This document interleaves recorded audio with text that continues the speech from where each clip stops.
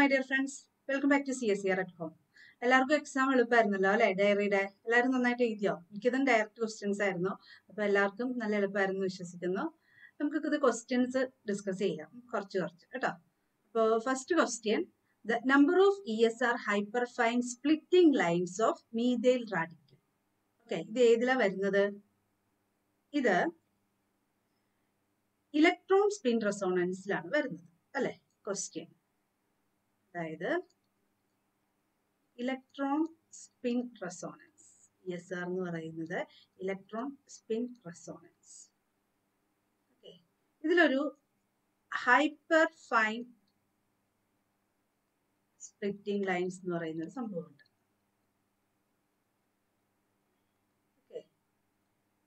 മനസ്സിലായല്ലോ? Hyperfine splitting lines മനസ്സിലായല്ലോ? Hyperfine splitting lines ഇത് കണ്ടുപിടിക്കാനുള്ള ഒരു ഇക്വേഷൻ എന്ന് പറയുന്നത് two N L plus one ഈ എൻ എന്ന് പറയുന്നത് ഈ എൻ എന്ന് പറയുന്നത് നമ്പർ ഓഫ് ഇക്വാലന്റ് ന്യൂക്ലിയർ സ്പിന്നാണ് അടുത്തത് എൽ എന്ന് പറയുന്നത് സ്പിൻ ആണ്. ഓക്കെ ഈ രണ്ട് കാര്യങ്ങൾ അറിഞ്ഞിരുന്നാൽ നമുക്ക് ഇത് എത്ര ലൈൻസ് കിട്ടുമെന്ന് കാൽക്കുലേറ്റ് ചെയ്യാം. ഇനി എന്താണ് അറിയേണ്ടത്? മീതേൽ റാഡിക്കൽ അല്ലെ? മീതേൽ റാഡിക്കലിൽ എത്ര അൺപെയ്ഡ് ഇലക്ട്രോൺ ഉണ്ട്? One unpaired electron one unpaired electron ഈ അൺപെയർഡ് ഇലക്ട്രോൺ ആണ് ഇന്ററാക്ട് ചെയ്യുന്നത്. ആരോട്? പ്രോട്ടോൺ ആയിട്ട്. അപ്പോൾ എത്ര പ്രോട്ടോൺ ആണുള്ളത്? Three equivalent proton.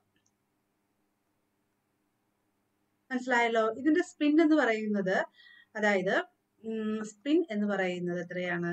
ഹാഫ് ആണ്. അപ്പൊ നമ്മൾ ഈ ഇക്വേഷൻ എങ്ങനെയാണ് കണ്ടുപിടിക്കുന്നത്? ടു ചെയ്യുന്നത് two into three into spin എത്രയാണ്? ഹാഫ് പ്ലസ് വൺ മനസ്സിലായല്ലോ? ഇതാണ് ഇക്വേഷൻ ആൻസർ എത്രയാണ്? Three plus one is equal to four four ആണ് ആൻസർ എഴുതിയായിരുന്നു ആൻസർ ഫോർ ആണ് കേട്ടോ.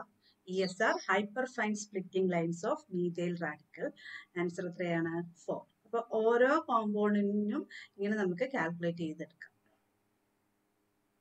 അടുത്ത question question number two for measuring chemical shift in N M R spectroscopy ഏത് കെമിക്കൽ കോമ്പൗണ്ട് ആണ് ഒരു റെഫറൻസ് ആയിട്ട് യൂസ് ചെയ്യുന്നത് സ്റ്റാൻഡേർഡ് ആയിട്ട് യൂസ് ചെയ്യുന്നത്? ഏതാണ്? ഇത് ഡയറക്റ്റ് ക്വസ്റ്റ്യൻ ആണ് അല്ലെ? ടെട്രാമീതേൽ സിലെ ടെട്രാമീതേൽ സിലെ എന്ത് നമുക്ക് പറയാം? T M S tetramethyl silane ആണ് യൂസ് ചെയ്യുന്നത് സ്റ്റാൻഡേർഡ് ആയിട്ട്. ഓക്കെ കെമിക്കൽ ഷിഫ്റ്റ് മെഷർ ചെയ്യാനായിട്ട് ടി എം എസ് ആണ് നമ്മൾ യൂസ് ചെയ്യുന്നത്. ടി എം എസ് ആണ് നമ്മൾ യൂസ് ചെയ്യുന്നത്. അതിന് നമുക്ക് എന്ത് പറയാം? ടി എം എസ് എന്ന് പറയുന്നത് സി എച്ച് ത്രീ ഫോർ ഇതാണ് T M S tetramethyl silane അടുത്ത ക്വസ്റ്റ്യൻ നോക്കാം. Question number three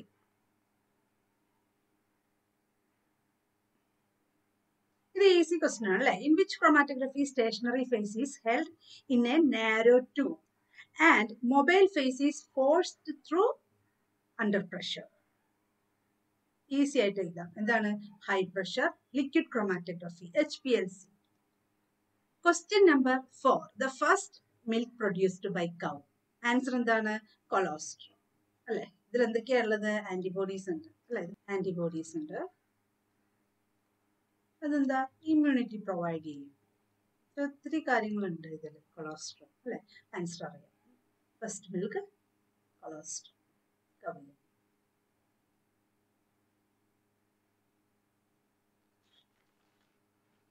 question number five The specific gravity of milk can be determined using ഏത് മെത്തേഡാണ് അതും നിങ്ങൾക്ക് അറിയാം ലാക്ടോമീറ്റർ അല്ലെ? മാനോമീറ്റർ എന്ന് പറയുന്നത് എന്താണ്? പ്രഷർ അല്ലെ? പ്രഷർ കമ്പയർ ചെയ്യാൻ വേണ്ടിയിട്ടുള്ളതാണ്. ബാരോമീറ്റർ എന്ന് പറയുന്നതും പ്രഷറാണ് അല്ലെ? ഹൈഗ്രോമീറ്റർ എന്ന് പറയുന്നത് വാട്ടർ വേപ്പർ ഹ്യൂമിഡിറ്റി അപ്പോൾ ആൻസർ എന്താണ്? ലാക്ടോമീറ്റർ ഈസി ആയിരുന്നു. Question number six The colour of milk is a blend of individual effect produced by colloidal casein particles and ഏതാണ്? കരോട്ടിൻ അല്ലെ? വേറെ ഒന്നും വരുന്നില്ല. കരോട്ടിൻ ഉണ്ടെന്നുള്ള കാര്യവും നിങ്ങൾക്ക് അറിയാവുന്നതാണ് ഈസി ആയിട്ടായിരുന്നു അല്ലെ? ക്വസ്റ്റ്യൻ ആൻസർ ഈസി ആയിരുന്നു ഇത്. Question number seven ഇതറിയാമായിരുന്നോ? Volhard method is used for detecting dash content in butter ഇതിന്റെ ആൻസർ എന്ന് പറയുന്നത് സോൾട്ട് കണ്ടന്റ് ആണ് കേട്ടോ? ഇതറിയായിരുന്നോ നിങ്ങൾക്ക്? സോൾട്ട് കണ്ടന്റ് സോൾട്ട് കണ്ടന്റ് അറിയാൻ വേണ്ടിയിട്ടാണ് ഈ മെത്തേഡ് നമ്മൾ യൂസ് ചെയ്യുന്നത് ബട്ടറിൽ ഇതിൽ നമ്മൾ സിൽവർ നൈട്രേറ്റ് ആഡ് ചെയ്യും. സിൽവർ നൈട്രേറ്റ് ആണ് ആഡ് ചെയ്യുന്നത്. ഓക്കെ അതായത് silver nitrate solution standard silver nitrate solution add ചെയ്യും ആഡ് ചെയ്യുമ്പോഴത്തേക്കും എന്താ പറ്റുന്നത്? ഇത് ആഡ് ചെയ്യുമ്പോഴത്തേക്കും ക്ലോറൈഡ് അല്ലെ? ക്ലോറൈഡ് ഒക്കെ പ്രിസിപ്പിറ്റേറ്റ് ചെയ്യും. ക്ലോറൈഡ്സ് എന്ത് പറ്റും? പ്രിസിപ്പിറ്റേറ്റ് ചെയ്യും. എങ്ങനെയാണ്? നമ്മൾ എക്സസ് ആയിട്ട് സിൽവർ നൈട്രേറ്റ് ആഡ് ചെയ്യും. അപ്പൊ ക്ലോറൈഡ് പ്രിസിപ്പിറ്റേറ്റ് ചെയ്യും. അപ്പൊ ബാക്കി എന്തോരം സിൽവർ നൈട്രേറ്റ് അതിൽ ബാക്കി കിടപ്പുണ്ട് അത് നമ്മൾ എങ്ങനെ ടൈട്രേറ്റ് ചെയ്യും? അത് ടൈട്രേറ്റ് എഗെയിൻസ്റ്റ് പൊട്ടാസ്യം തയോസൈനേറ്റ് അതായത് എക്സസ് ആയിട്ട് സിൽവർ നൈട്രേറ്റ് ആഡ് ചെയ്യും ക്ലോറൈഡ് പ്രിസിപ്പിറ്റേറ്റ് ചെയ്യും പിന്നെ എക്സ്ട്രാ സിൽവർ നൈട്രേറ്റ് എത്ര ഉണ്ടെന്ന് നമ്മൾ എങ്ങനെ ടൈട്രേറ്റ് ചെയ്യും? പൊട്ടാസ്യം തയോസൈനേറ്റ് വെച്ച് ടൈട്രേറ്റ് ചെയ്ത് നമ്മൾ അറിയും ഇതിൽ ഇൻഡിക്കേറ്റർ ഏതാണ്? Ferric ammonium sulphate okay ferric ammonium sulphate indicator അപ്പോൾ അതാണ് സെവൻത് ക്വസ്റ്റ്യൻ എയ്ത്ത് ക്വസ്റ്റ്യൻ എന്താണ്? എക്സാമ്പിൾ ഓഫ് ന്യൂട്ടോണിയൻ ഫ്ലൂയിഡ് അപ്പോൾ വാട്ടർ അതിന്റെ എക്സാമ്പിൾ ആണ് അല്ലെ? വാട്ടർ അതിന്റെ എക്സാമ്പിൾ ആണ് മിൽക്ക് അതിന്റെ എക്സാമ്പിൾ ആണ്. മിൽക്കിൽ തന്നെ രണ്ട് രീതിയിലുണ്ട്. അതായത് കോൺസെൻട്രേറ്റഡ് മിൽക്ക് എന്ന് പറയുന്നത് നോൺ ന്യൂട്ടോണിയൽ ഫ്ലൂയിഡ് ആണ് ഇവിടെ മിൽക്ക് എന്നുള്ള ആൻസർ നമുക്ക് എഴുതാം. കാരണം ഏത് രീതിയിലുള്ള മിൽക്കാന്ന് ഇവിടെ കൊടുത്തിട്ടില്ലല്ലോ വോൾ മിൽക്ക് എന്ന് പറയുന്നത് ന്യൂട്ടോണിയൽ ഫ്ലൂയിഡ് ആണ്. അപ്പോൾ എക്സാമ്പിൾ ഓഫ് ന്യൂട്ടോണിയൻ ഫ്ലൂയിഡ് എന്ന് പറയുമ്പോഴത്തേക്കും മിൽക്ക് എന്ന് പറയാം. വാട്ടർ മിൽക്ക് പറയും. പക്ഷെ കോൺസെൻട്രേറ്റഡ് മിൽക്ക് ആണെങ്കിൽ എന്താണ്? നോൺ ആണ് അല്ലെ? Non Newtonian.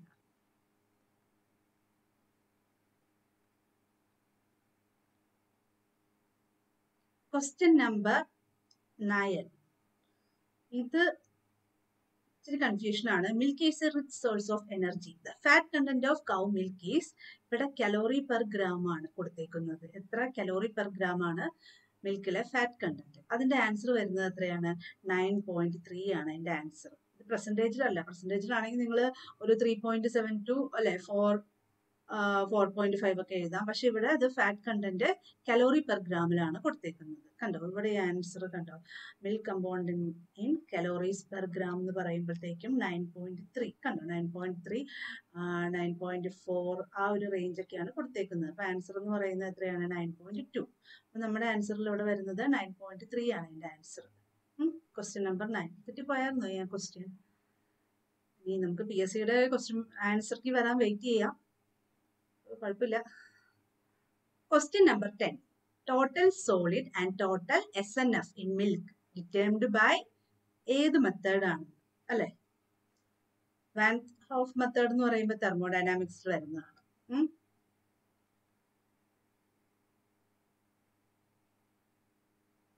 ഇതിന്റെ ആൻസർ എന്ന് പറയുന്നത് ഗർബർ മെത്തേഡ് ആണ്.